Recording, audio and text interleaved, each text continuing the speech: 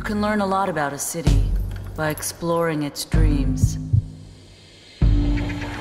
But you can learn a lot more from its nightmares.